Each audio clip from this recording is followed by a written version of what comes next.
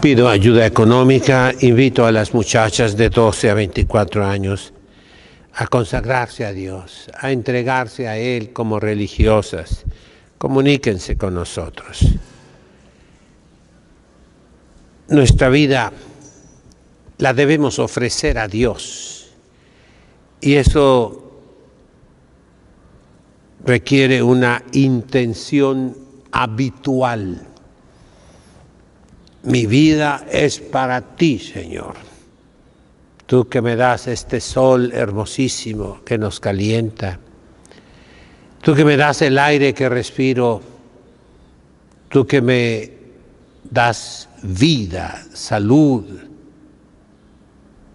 la oportunidad de trabajar, de ganarme el sustento de cada día.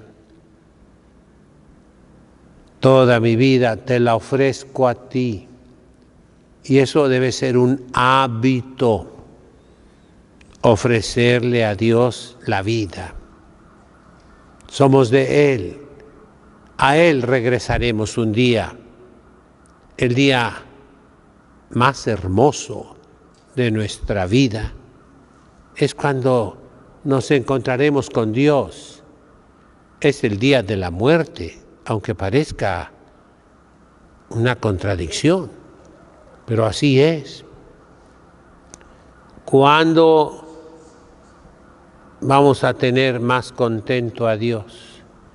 Cuando le entreguemos todo, absolutamente todo. Mi vida, mi trabajo, la familia que tú me diste, mis seres queridos, lo que más amo te lo entrego, te lo doy. Esa es pues la intención habitual que debemos renovar con lo que llamamos la intención actual, un hábito y un acto. Los actos al repetirse forman hábitos. Por ejemplo, un acto de caridad, si lo repito y lo repito haciendo obras de caridad, voy a adquirir la virtud, o sea, el hábito de la caridad. Y así, si renuevo mi intención de ofrecerle a Dios mi vida, mi trabajo, mis actos, mis obras, y constantemente estoy renovando esa intención, voy a adquirir el hábito. ¿Cuál hábito? De vivir en la presencia de Dios, de estar en constante y continua comunicación con Dios. Eso es caminar delante de Dios como le dijo Dios a Abraham, camina delante de mí. Eso es vivir en la presencia de Dios. Esa se llama atención amorosa. Qué triste cuando va uno a veces a visitar personas. Es muy típico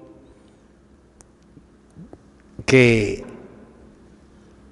cuando va un sacerdote, un monseñor a una familia, lo quieren servir, se esmeran, ¿verdad? Y voy a hacerle esto, voy a hacer el otro, voy acá y esto y lo otro y acá, y lo dejan a uno solo.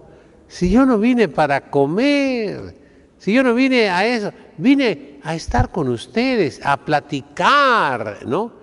Y lo dejan uno solo por servirle tantas cosas. Nuestro Señor sintió eso con Marta y María. Marta se puso a cocinarle, a trabajarle, a arreglar no sé cuántas cosas. En cambio María, la más chica, se quedó ahí a los pies de Jesús. Marta, Marta, te ocupas en muchas cosas. María, en cambio, ha escogido la mejor parte que no se le quitará. Y así nosotros no nos perdamos en cuánta actividad podamos hacer en la vida. Concentrémonos en Dios. Atendamos a Dios. Qué bonito es cuando uno es el centro de la atención. Uh, a mí me ha tocado mucho, pues soy sacerdote, ¿verdad? La gente está con uno, habla con uno, etcétera, aunque sea un minutito o dos, pero se va uno muy contento. Lo mismo les habrá pasado a ustedes en alguna ocasión. Ser el centro. Por ejemplo, el, el día de tu santo, el día de tu cumpleaños, pues todo mundo te quiere complacer, hasta te cantan las mañanitas, ¿verdad? Te dan regalo a los niños, les hace una piñata, etcétera. ¿Quién es el centro? Pues el niño que cumple cuatro años o tres años. Él es el centro. Lo queremos complacer, queremos que esté contento. Así debe ser con Dios. Que tú estés contento de mí. Y por eso me acuerdo de ti durante el día. La Santísima Virgen María no podía estar lejos de Jesús. Cuando se quedó en el templo, ella pensaba que venía con San José, porque eran como caravanas distintas de los hombres y las mujeres, en la misma grande caravana, ¿verdad? San José pensó que estaba con la Santísima Virgen. E inmediatamente que la Virgen se dio cuenta que no estaba, regresaron a Jerusalén.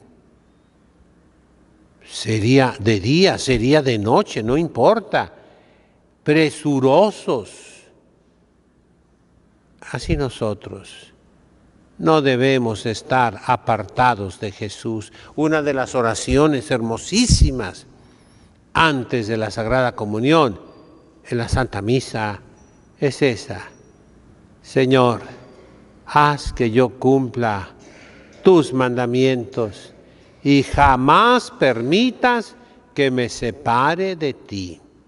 ¿Qué es la separación de Dios? El pecado en esta vida el infierno en la otra. Esa es la separación de Dios. ¿Qué es el cielo? Estar unidos con Dios. Y ya en esta tierra podemos anticipar el cielo si pensamos en Él. Si nuestro corazón está donde está nuestro tesoro, dice Jesucristo, y Él es nuestro tesoro. Tú eres mi tesoro, tú eres mi alegría, tú eres vida mía. Yo te quiero amar. Él es nuestro tesoro, que nadie nos quitará. Él es nuestra paz. Mi paz os dejo, mi paz os doy, no como la da el mundo, no, no, no. Volvamos los ojos a la Santísima Virgen María y pidámosle que nos enseñe cómo estar unidos con Cristo.